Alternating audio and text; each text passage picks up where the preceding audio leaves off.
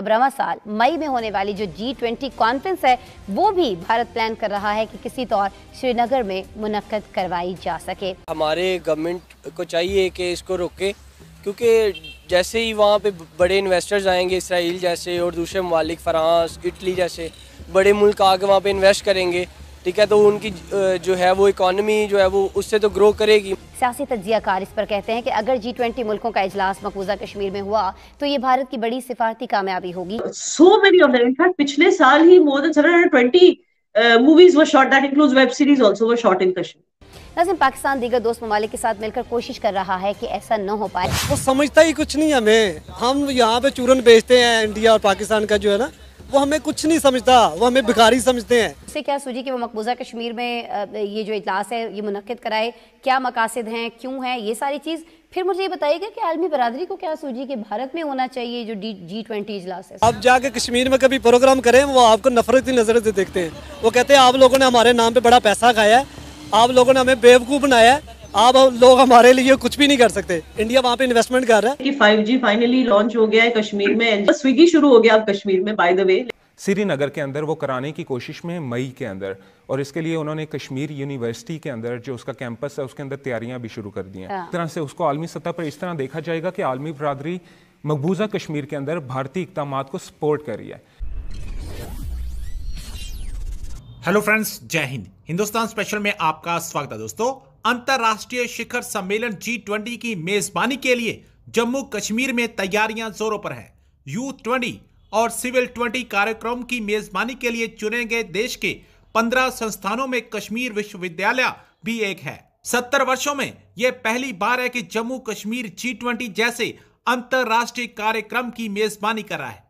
जम्मू कश्मीर में G twenty बैठकों में से एक की मेजबानी से क्षेत्र में अधिक ध्यान और निवेश लाकर कश्मीर में पर्यटन और हस्तशिल्प को बढ़ावा देने की क्षमता है। ये कार्यक्रम प्रधानमंत्री नरेंद्र मोदी के दृष्टिकोण के अनुरूप आयोजित किए जा रहे हैं। श्रीनगर में जी ट्वेंटी बैठक की मेजबानी करना भी सरकार के लिए उस विकास को प्रदर्शित करने का एक अवसर है, जिसे जम्मू कश्मीर ने तीन साल पहले संविधान में अस्थायी प्रावधान आर्टिकल 370 को हटाने के बाद देखा था। शुरू से ही पाकिस्तान श्रीनगर में जी ट्वेंटी की बैठक होने से जला भुना बैठा है। जी ट्वेंटी इवेंट की कुछ मीटिंग्स जो है, वो जम्मू कश्मीर में भी रखी जाएँगी। इंडिया के पास ये गोल्डन चांस है पूरी दुनिया को बताने के लिए कि मकबूजा कश्मीर इंडिया से बिलोंग करता है।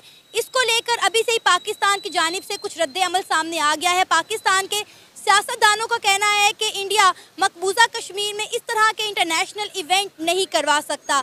इसी पर आज हम बात करेंगे पाकिस्तान के अवाम से कि क्या पाकिस्तान जम्मू कश्मीर में होने वाली जी ट्वेंटी इवेंट की मीटिंग्स को रोक सकता है या नहीं? आइए जानते हैं पाकिस्तानी अवाम का क्या कहना है। आपको बताया कि जी ट्वेंटी समिट की कुछ मीटिंग्स जो है वो मकबूजा कश्मीर में भी रखी जाएँगी। क्या वहाँ पे इस तरह के इंटरनेशनल इवेंट्स पॉसिबल हैं? हमारे गवर्नमेंट को चाहिए कि इसको रोके।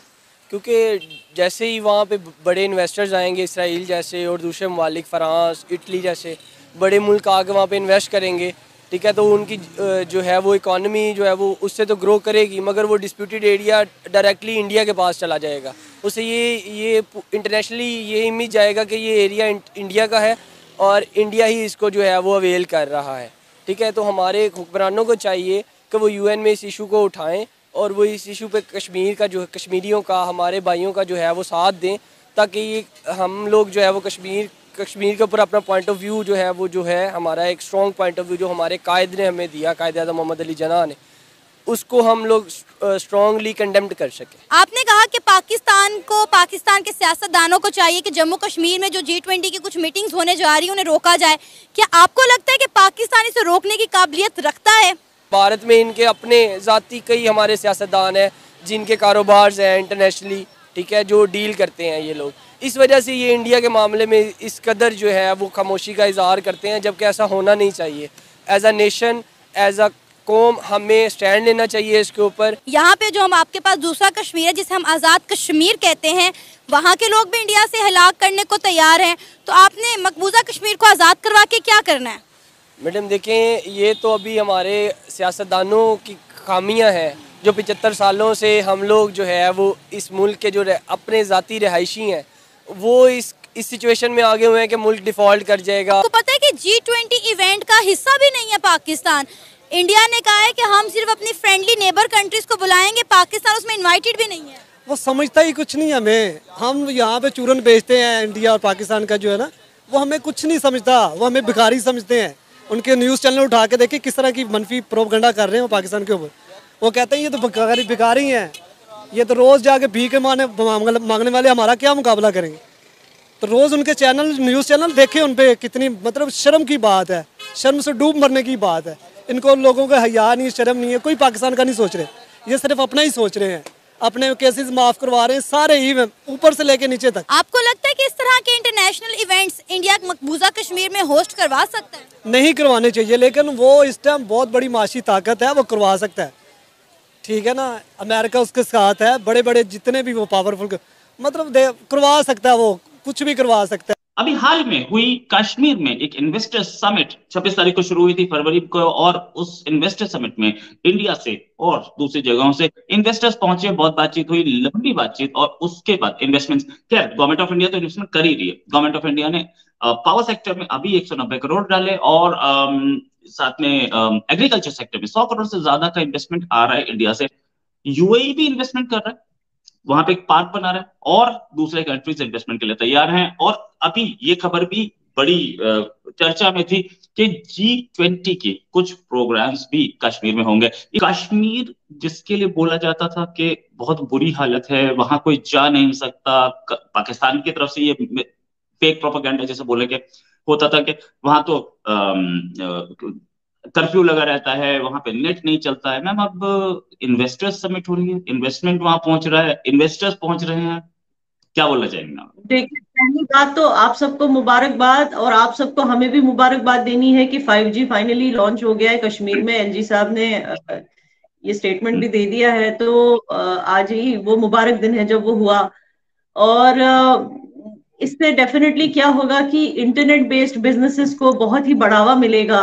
एंड आजकल तो आप जानते हैं आर्टिफिशियल इंटेलिजेंस का जमाना है। Most of the businesses most of the new new age entrepreneurs are internet based entrepreneurs जो अपने products and goods and services social media पे एडवर्टाइज करते हैं एंड इवेंचुअली uh, उससे पैसे बनाते हैं। सो फॉर देम जब 5G की बात हो रही है तो डेफिनेटली वो प्रोपेगेंडा तो फेल ही हो गया पाकिस्तान का कि यहाँ पे इंटरनेट uh, बंद किया जाता है लोगों को काम नहीं किया जा, दिया जाता।